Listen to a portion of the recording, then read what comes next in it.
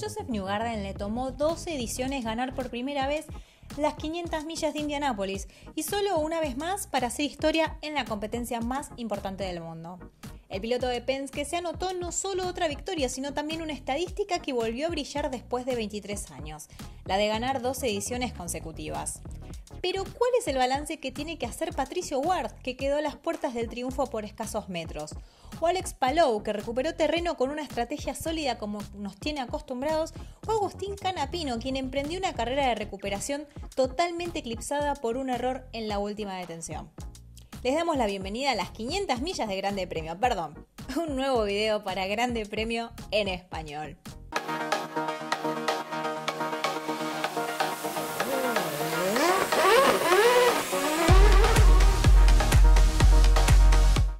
Patricio Ward por poco hizo historia y estuvo a punto de convertirse en el primer mexicano en ganar las 500 millas de Indianápolis.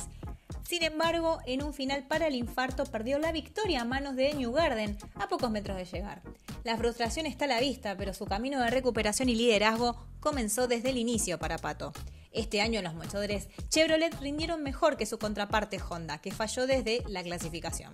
La fortaleza de los McLaren salió a flote no solo con Howard, sino también con Alex Rossi y la posibilidad que le dieron a Kyle Larson de lucirse en su primera actuación en la Indy 500 siempre fueron protagonistas y el juego vuelta a vuelta en donde cambió el liderazgo con su compañero fue uno de los momentos más álgidos del domingo pasado. El mexicano mostró un ritmo sólido y supo ser protagonista durante todo el evento. McLaren tiene los medios, necesita solo ese golpe de suerte para coronar su buen rendimiento.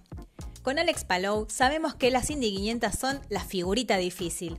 Bicampeón, arriba uno de los mejores autos de la grilla y estratégicamente sobresaliente, en esta edición no pudo hacer demasiado. Repasemos.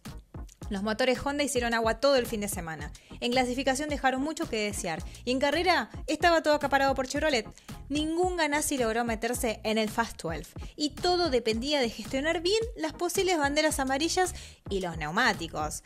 En eso Palou ganó porque aprovechando las múltiples neutralizaciones pudo avanzar mientras el resto pensaba con la temperatura de las gomas en pista qué podía suceder. Palou pudo avanzar hasta el quinto lugar y extiende esta promesa de ser un candidato para las próximas ediciones de la Indy 500.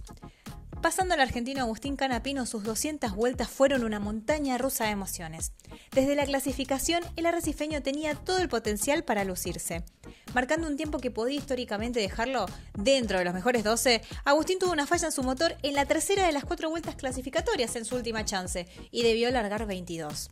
El problema fue investigado por el proveedor Chevrolet y el equipo, obviamente, Junco Hollinger Racing. Con Daily sabemos que tuvo un problema similar y en ambos impulsores fue subsanado para la competencia. De los resultados estuvieron a la vista. Conor Daly apretó a una estrategia en donde pudo estirar las paradas en boxes, llegó a estar primero e incluso fue el protagonista en la primera parte. Pero igual volviendo a Canapino, el avance fue notable. Gestionando bien las banderas amarillas, el avance comenzó a partir más o menos de la vuelta 50 y durante gran parte de la carrera osciló entre los primeros 15 y los primeros 10. La última detención le jugó en contra, con un bloqueo que lo condenó. No sabía dónde debía frenar y debió cumplir con una penalización que lo relegó a donde comenzó todo, el cajón 22. El Titán, sin embargo, pudo terminar la competencia, algo que no sucedía desde Raúl Riganti hace 91 años cuando un argentino completó los 200 giros de carrera a las puertas de la gloria la edición de las 500 millas de Indianápolis dejó un sabor algo amargo para Ward y Canapino, mientras que para Palou fue un poco más dulce luego de una previa con pocas expectativas. Su trabajo y su potencial en pista mostró que el futuro es más prometedor para todos ellos. Y hasta 2025 en D500, ahí veremos cómo le irá a estos pilotos. Y también puedes ver cómo le irá al resto de los pilotos del deporte motor si seguís el canal de Grande Premio en español, te suscribís y todas las novedades, todo lo último, toda la información está en este canal. Recordá activar la campanita para estar al tanto de los vídeos que subimos, porque recordad que siempre subimos uno, más de uno por semana. Mi nombre es Barcho Mincioni y esto fue otro video para Grande Premio en español.